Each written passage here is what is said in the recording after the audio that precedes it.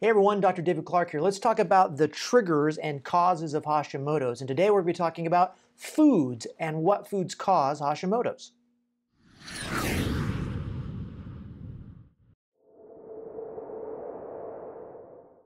All right, everyone always wants to know, you know, what is the what causes Hashimoto's? What made me have Hashimoto's? Did I do something wrong?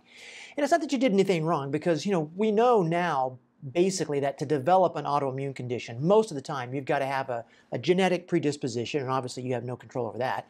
Uh, you usually have to have some sort of um, leaky barrier. It could be a gut barrier, or lung barrier, or blood-brain barrier, or your sinus barrier, or your skin.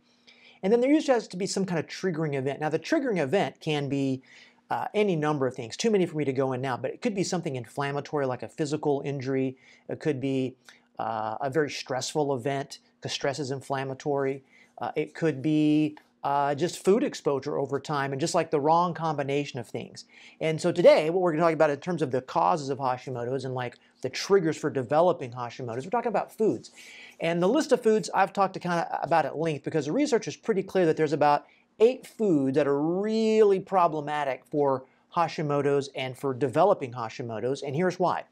Because in Hashimoto's, right, that's an autoimmune condition where you attack the inside of your thyroid gland, and the two things that you're attacking, one or both, is thyroid peroxidase, which is an enzyme, and thyroglobulin, which is a, a, protein.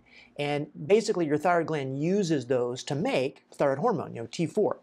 Uh, because about 97% of what gets released out of your thyroid gland is in the form of T4. And thyroid peroxidase can look like certain foods there's this thing that can happen that's called cross reaction. Sometimes we call it, you know, molecular mimicry. Uh, basically, it's that they look similar enough to the immune system that when your immune system makes antibodies, which are like little post-it notes, that it wants to stick onto the inside of your thyroid gland to the thyroid peroxidase, those same antibodies can stick on certain foods I'm going to tell you about. And it kind of goes the other way direction as well, which is if you eat those foods, you could be making your immune system make more thyroid peroxidase antibodies. Now, I just want to interject that we all have antibodies. Like there's antibodies to your thyroid floating around right now. Um, that's normal. We call those naturally occurring uh, antibodies. And they're kind of how your immune system surveils things, you know, and keeps an eye on things. But when you have a lot of them, well, then you're probably getting an autoimmune problem. You're directing your immune system to go in and kill whatever it's tagging. So the antibodies we're talking about are thyroid peroxidase antibodies, and the fact that you could develop antibodies to the foods I'm talking about, okay, and those could result in thyroid peroxidase antibodies going after your thyroid, or you may already have a few thyroid peroxidase antibodies floating around, and if you develop antibodies to the foods I'm going to tell you about, then you got more thyroid peroxidase antibodies. I think we understand you know, what I'm talking about. So what, what foods are we talking about that could trigger Hashimoto's? Well, the number one thing is wheat. Uh, wheat is a problem. I've been doing this for a long time, and, and wheat and milk, which is number two on the list, those are the two biggest foods that I tell people you really have to avoid if you have Hashimoto's. If you want to be super safe, you just got to avoid those. Uh, I always tell people you're probably going to have to avoid, you know, gluten and wheat forever. Milk, you know, maybe not forever, but for the near and long, uh, near to midterm future. And I can't believe I've even told you guys that, but I did.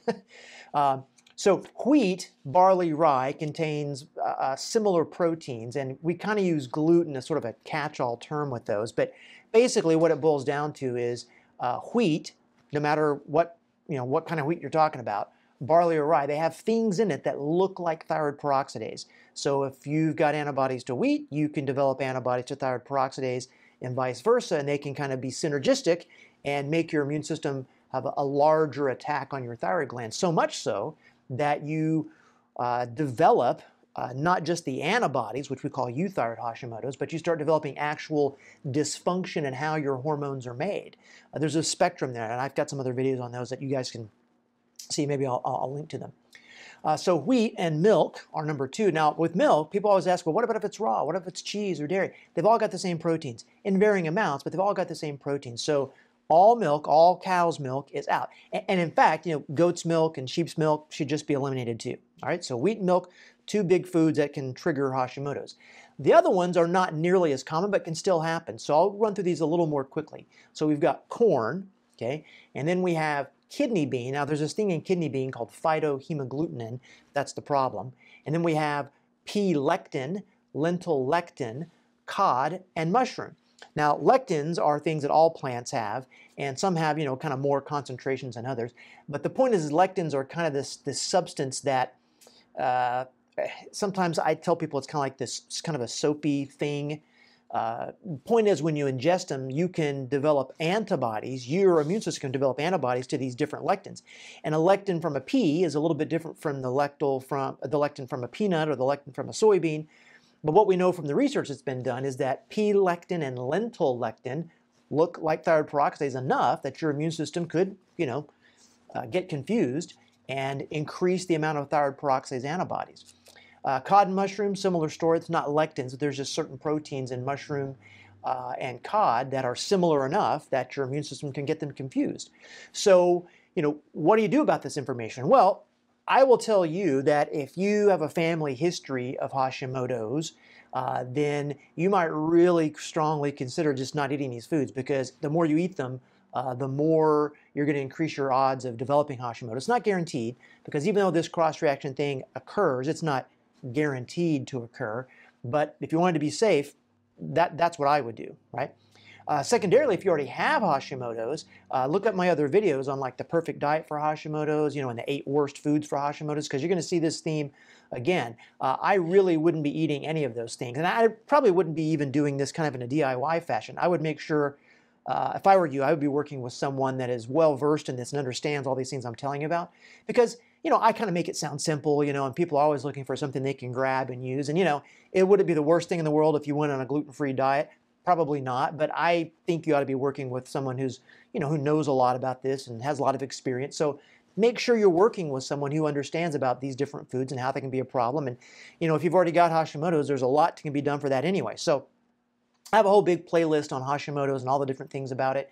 Uh, but today, what I wanted to share with you is that uh, in the search for you know triggers and causes i mean this is what we know as far as foods go. And information may change so you might want to check in every now and then on this channel to see if i've got new updated information. But for right now uh, triggers for hashimoto's in terms of food wheat milk corn uh, kidney bean pea lectin lentil lectin cod and mushroom